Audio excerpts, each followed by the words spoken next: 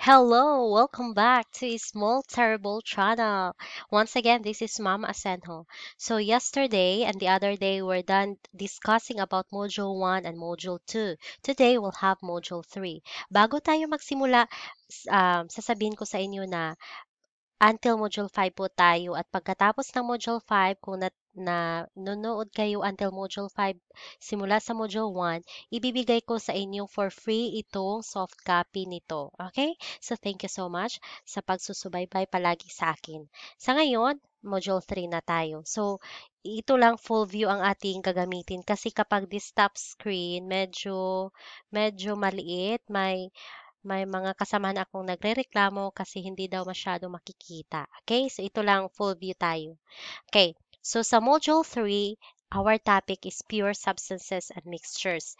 Kasi sa MELC or sa Most Essential Learning Competency, nandun ay distinguish mixtures from substances based on a set of properties. So, ang target, ang, ang module na ito ay um, you will learn to distinguish mixtures from substances based on a set of properties. At again, may tatlo tayong target. At the end of this module, you distinguish pure substances from mixtures, list the examples of pure substances and mixtures, and show willingness to classify matter as pure substances or pure substance and mixture. And we have the unlocking of difficulties, homogeneous mixture, what is homogeneous mixture? What is heterogeneous mixture? What is density? What is what do we mean by physically combined? All right. Then we have our pre-test, okay, or the pre-assessment. So checking of the background or the the for uh, the prior knowledge of the students, okay.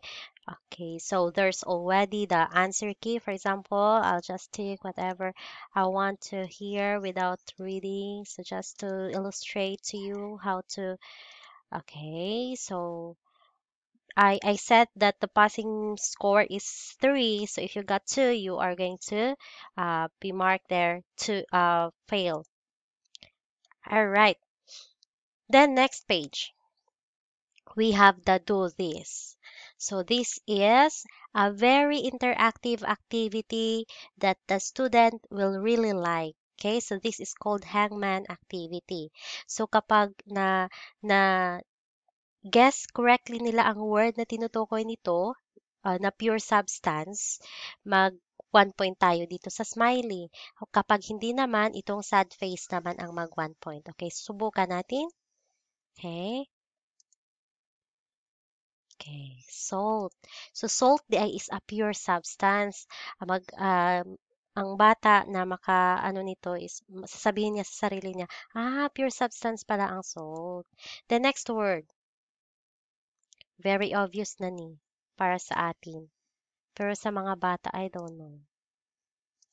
Alright. Susubukan nating magkamali. Anong mangyayari? So, yan ang mangyayari kapag maraming try tayo. Bigyan tayo ng maraming try. Bigyan, okay, too bad. Okay, then one point ang sad face. So, okay na tayo dyan? Okay, so i-X lang natin. At ito naman sa mixtures, hangman pa rin. Okay, so the following are mixtures. Ano kaya? So, unahin natin ng A, E, I. So, may I. Ano kaya ito? O, ano kaya yan? Even ako nakalimutan ko, kahit ako ang gumagawa. Ano kaya yan? Ah, malapit na tayo. Ah, okay. Parang ito. Oh, ang milk. Sasabihin ng bata, ah, mixture pala ang milk. Oo, mixture ang milk. Under siya sa, saan siya under? May dalawang klase kasi ang mixture. May homogeneous, may heterogen heterogeneous. Okay? So, yan ang ganda ng ating activities. Hindi maboboard ang mga bata nito. Napaka-interactive. Next, we have the explore part. Okay, so all you have to do is you click on the picture and explain each. So you are going to explain yourself na. Ang mga bata na mag-explain nga no na mixture ang milk. Milk is a mixture. Why is it? Okay? Then we have sugar. Why is it? It's a pure substance. Gatorade. It's a mixture. Why? Okay. 14K gold mixture. So they are going to look for the answer about this. Why is it a pure substance? Why are they uh, like that? Okay, then let's proceed to the next page we have to keep this in mind. So this part is the discussion portion of our module. So the important important points are in here. What is matter? What is a mixture? What is a pure substance? What, what are the examples of mixtures? What are the examples of pure substance? All are in here. Alright, then sinasabi din dito ang dalawang uri ng mixture, homogeneous mixture and heterogeneous. And we have the pure substance can be element or compound. Okay? So napaka, kung ako ang estudyante ngayon at binibigyan ako nito, wow, perfect na ako kapag mag-exam na si ma'am. Next, apply what you have learned. So, the task is fit me in. So, ano kaya ito? Bakit fit me in? I-click lang nila ang picture Ah, I forgot it, guys to delete clear this. I should have cleared this before I I presented this to you because if I am going to clear it, it will look like this and the student will have to arrange this. Okay, this is a jigsaw puzzle. Kaya pala sinasabing fit me in. Kay, kasi ito ay isang jigsaw puzzle. And again, ang mga estudyante ay ma ma ma, ma amuse nito, ma ano sila, malilibang sila, no? Malilibang sila sa while learning at the same time they are enjoying. Am I correct? Saan kaya yun?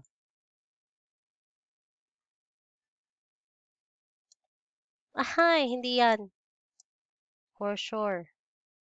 Parang ito. Ito ang tama.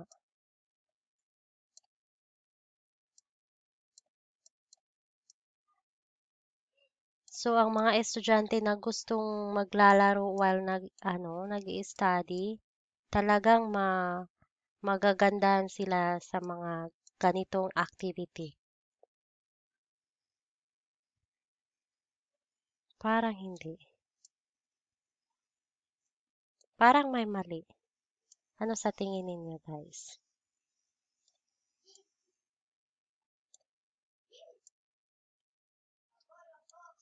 Hopefully, tama na ito.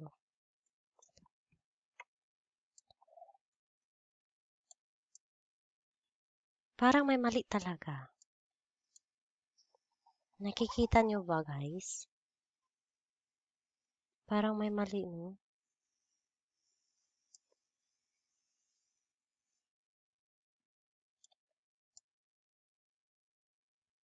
Chereng! Congratulations! So, kapag tama ay sasabihin sa iyo na congratulations. Okay? Then, next page. Ah, fill me in. So, ito, ah, si, sinulat ko lang ng ganyan. Anyway, may answer key naman sa unahan, no? So, matter can be broken down into two categories. So, ang bata, kung hindi niya alam, oh, pwedeng puntahan niyo muna ang ano, answer key. No, puntahan niya muna ang answer key. Ah, pure substance pala at saka ano. Sa reflect, no? Sa reflect. To pure substance and mixture, okay? Then we have the evaluation part, our favorite portion. If the students really learn about the module, about the pure substance and the mixture. For example, this one, common sense is some homogeneous mixture. Say, for example, we're going to answer pure water. Compound. Which of the following is a compound? Okay, so for example, let's just do single type of atom. Anyway, I did not read number three and number four. All right, we failed. All right, so there are highlighted um, ah, oh, because pure water is not a mixture. I didn't read well the, the question. So the student will will uh, say like that. Okay. Then we have, mm. So they are going to realize the correct answer later on after they answered. Then, then we have the glossary. The pure substance, it can be elements on or compound, mixtures, it could be um, homogeneous or heterogeneous mixture. Then we have the answer key part, then the references. And tomorrow we'll have module 4 solutions. Hopefully, susubaybayan pa ninyo ako. And don't forget to comment on um, each of the module. So sa module 1, may dalawa na ako, may dalawa tayong part, may part 1 at part 2. Mag-comment lang kayo doon kasi inilista ko ang mga uh, mga email ad ninyo inilista ko, nagsusurvey ako sa Module 1, Module 2, Module 3, itong Module 3, and itong Module 4 at Module 5. Ang nakakomplete niyan ay bibigyan ko ng soft copy nitong ebook natin. Okay? So, thank you so much. Yan lang po ang hinihingi ko sa inyo. Thank you so much. Bye-bye.